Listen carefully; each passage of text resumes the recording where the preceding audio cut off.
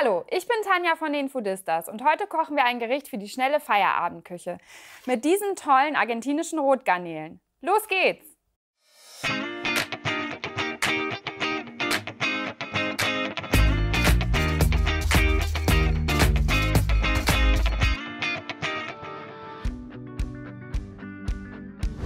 Als erstes starten wir mit dem Rotkohl. Hierfür halbieren wir diesen, schneiden ihn in Scheiben, waschen ihn und kümmern uns dann um das Dressing.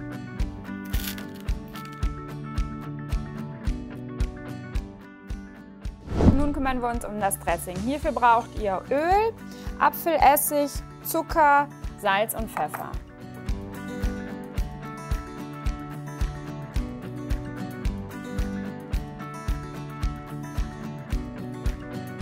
Jetzt schneiden wir noch eine Chilischote für den Rotkohlsalat und dann zieht der Salat für eine halbe Stunde.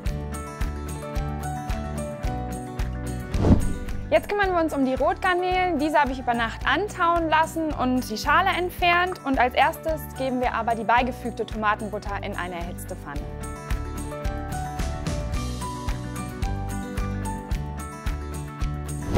Während die Rotgarnelen jetzt bei mittlerer Hitze sieben Minuten anbraten, kümmern wir uns um den Dip.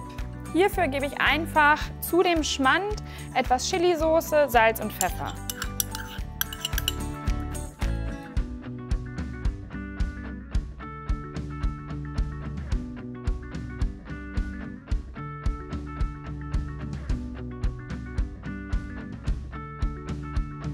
Jetzt geht es auch schon ans Servieren. Hierfür habe ich die Tortilla noch mal kurz in einer Pfanne erhitzt, eine Avocado in Scheiben geschnitten und etwas Feta gebröselt.